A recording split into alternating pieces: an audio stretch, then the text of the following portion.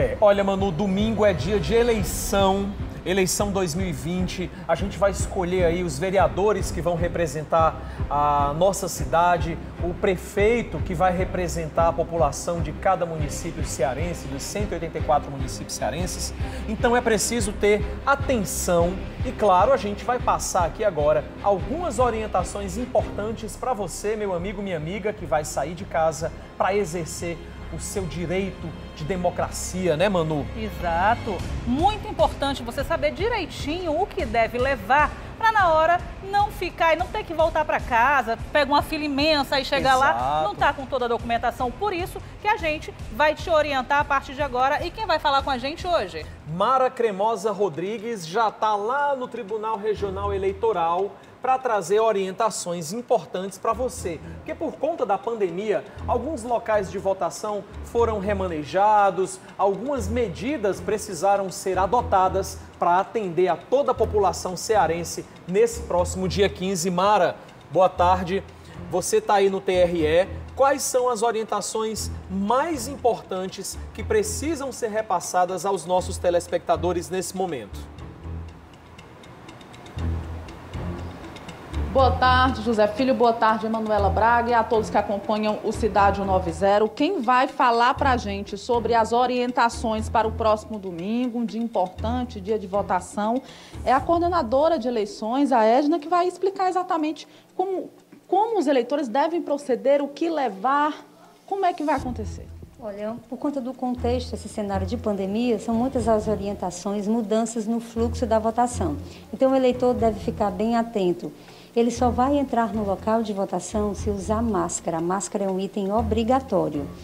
Ele, a Justiça Eleitoral recomenda também que ele leve uma caneta, embora a gente tenha canetas higienizadas no local, porque ele vai precisar assinar o caderno de votação, porque a identificação ela não vai ser pela impressão digital, a identificação vai ser por um documento de identificação oficial que pode ser RG, que pode ser passaporte e também ele poderá baixar o e-título, que é o nosso título digital. Se ele já fez a biometria, o e-título vai funcionar como documento oficial.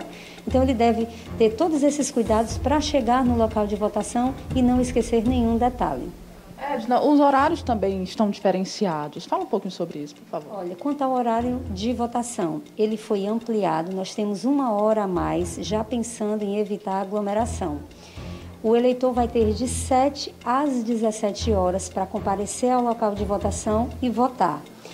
Só que o horário de 7 às 10 horas, ele, ele foi reservado, ele é um horário preferencial para os eleitores acima de 60 anos. Mas o eleitor acima de 60 anos, ele pode votar em qualquer horário, de 7 às 17 horas. E se um outro eleitor que estiver fora dessa faixa etária quiser votar, ele pode, mas ele tem que aguardar que todos esses eleitores que têm atendimento preferencial, que eles votem e eles ficam aguardando numa fila paralela. Agora, como funciona o trabalho do TRE durante este final de semana? Olha, nós estamos em momentos preparativos finais. Todas as urnas eletrônicas, elas estão carregadas, elas já foram preparadas no sábado. Amanhã, todas as urnas eletrônicas já estarão nos seus locais de votação.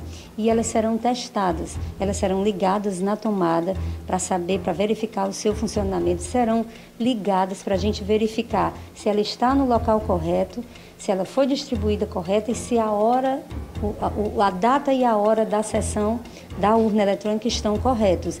Isso tudo para que o eleitor, ao chegar no local de votação, a partir das 7 horas para votar, que a urna esteja em perfeitas, em perfeitas condições, em perfeita condição de funcionamento. Obrigada pelas informações. Eu conversei com Edna Saboia, que é coordenadora das eleições aqui no TRE. E olha só, são muitos profissionais envolvidos. É uma operação que acontece em todo o Brasil. Aqui no Ceará, mais de 110 mil profissionais do TRE estão envolvidos, vão atuar nas eleições no próximo domingo. E desse total, 30 mil pessoas irão trabalhar aqui em Fortaleza. Essas são as informações, portanto, muita atenção, não esquecer nada. Oi, pode falar.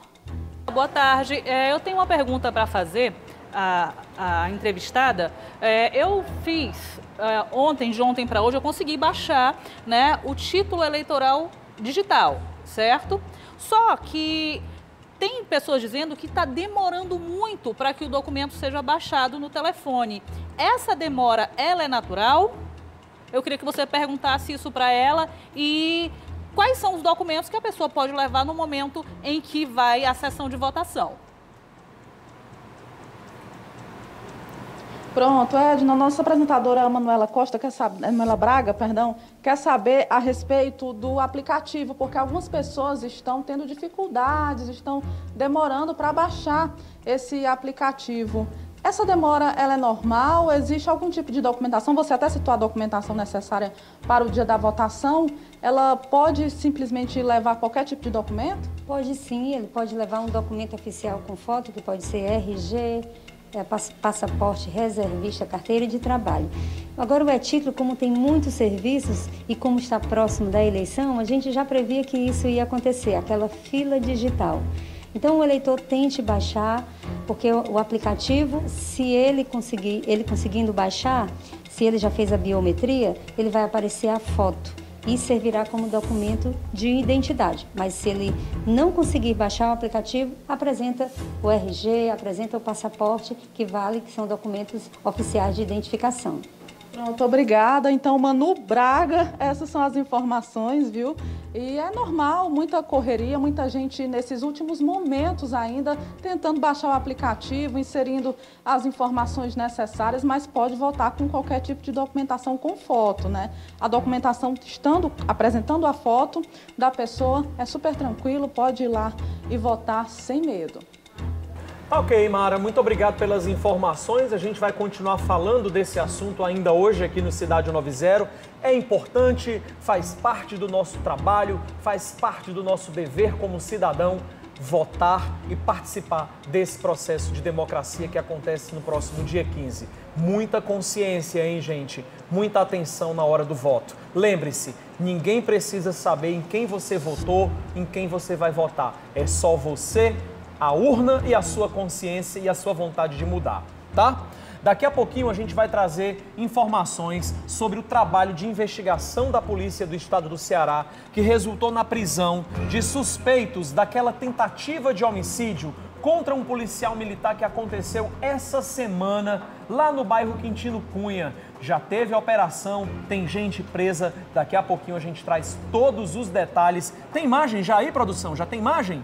Do caso aconteceu essa semana. Houve uma troca de tiros, o policial Reagiu. foi.